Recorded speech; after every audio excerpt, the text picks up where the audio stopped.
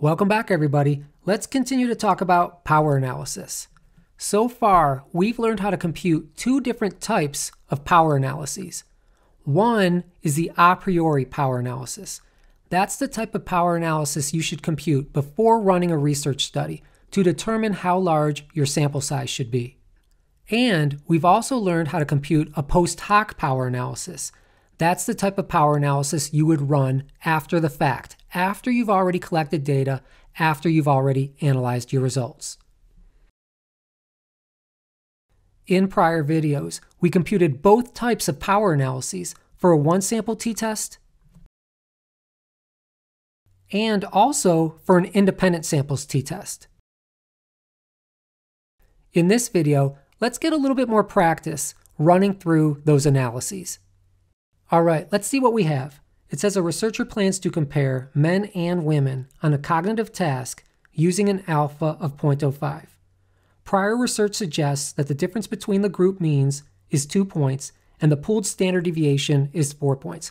So we don't have all the details about that research study, but we do have the important numbers that we need.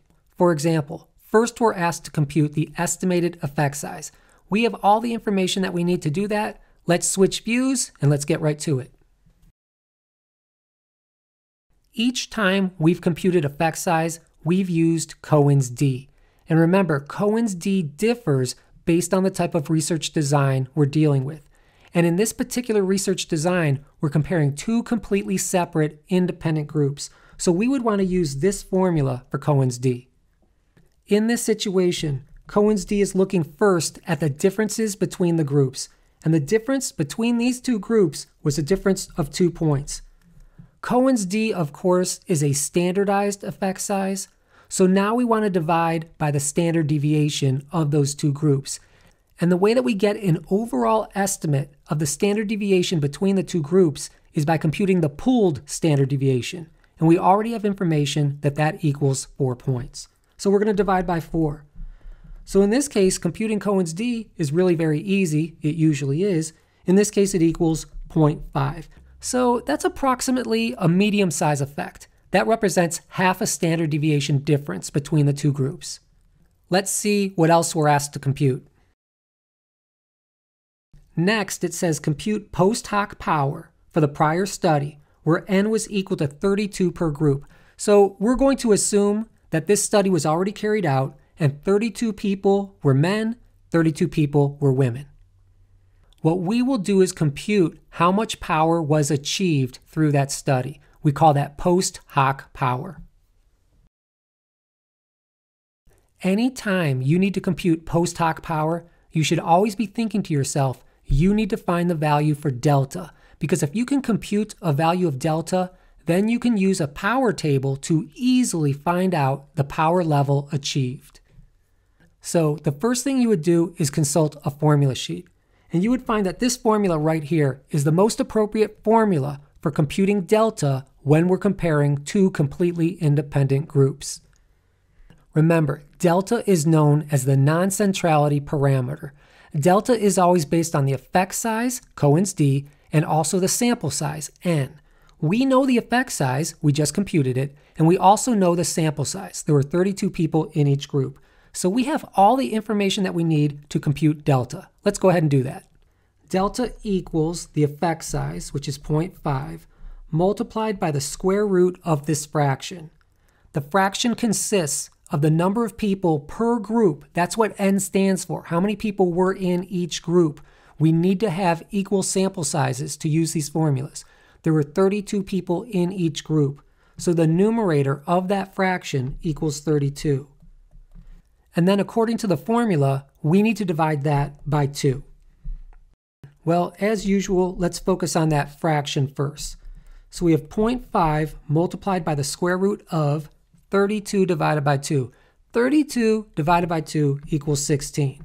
Nice, easy numbers to work with with this example. Let's find the square root of 16. We'll be left with 0.5 multiplied by 4. And 0.5 times 4 equals 2 after you compute something, sometimes it's easy to lose sight of what you computed. So just remind yourself, you just computed delta. So now we want to find a delta table. In other words, a power table. And then we're just going to look up that value of 2. And then we'll figure out exactly how much power was achieved in that study. Here is our delta table, our power table. We want to find a delta value of 2. Here it is right here. In that research study, they used a two-tailed test and an alpha of 0.05. So we want to come down this column until we see the row for delta of 2. And right there, we know our power level, 0.52. So the power level associated with this study was equal to 0.52. In other words, these researchers had a 52% chance of finding differences between those two groups when differences between those two groups really do exist. Think about it this way it turns out that the researchers had a chance equivalent to about a coin toss of finding those differences. That's not very good. Let's see what it would take to improve upon that. Let's look at the next question. The next question asks what total sample size n would the researcher need to obtain a power of 85%? 85% is pretty good power. Remember, 80% would be a minimum sufficient power level. Compute an a priori power analysis. All right, let's do that. Now you should be saying to yourself, if I'm computing an a priori power analysis, I'm computing this power analysis before I even start collecting data for this study. So at this point, I'm computing a power analysis so that I can determine how many research subjects should I have in each group. So in other words, you want to find out sample size. You want to find out n. Now you can consult your formula sheet and find the most appropriate equation. This equation right here is the most appropriate equation for figuring out sample size when we're comparing two groups. Now keep this in mind. That equation is labeled with a small n. That equation is going to tell us the number of people needed per group. Let's look at the equation and see what we need. We need to know the effect size, Cohen's d. We already have that. We know that the effect size equals 0.5. We just computed it. We also need to stick in a delta level. And remember, we get to choose that delta level. We are choosing, for this particular analysis, a power level equal to 85%. We don't want to stick in 85 or 0.85 we want to find the delta value associated with power of 85%.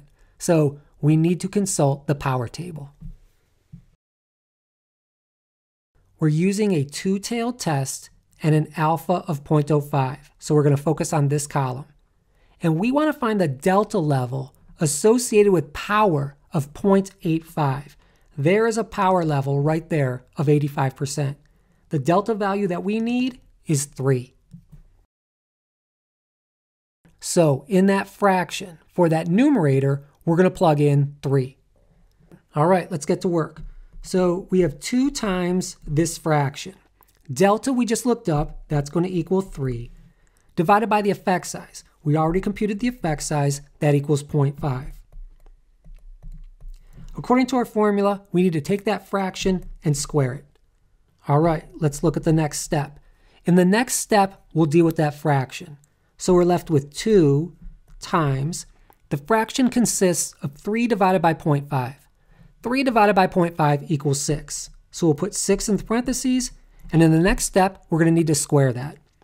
You might recall that 6 squared equals 36. So we're left with 2 times 36. And of course, 2 times 36 equals 72. Now remind yourself what you just computed. You computed small n. That's the number of people per group.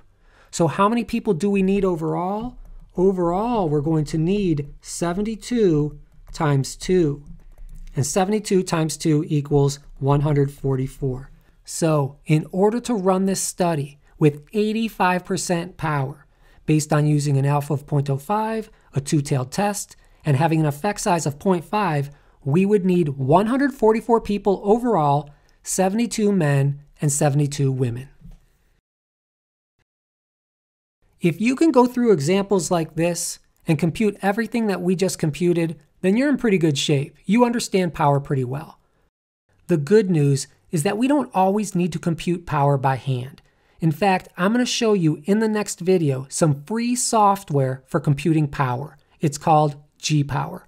I'll see you in that next video. In the meantime, be safe.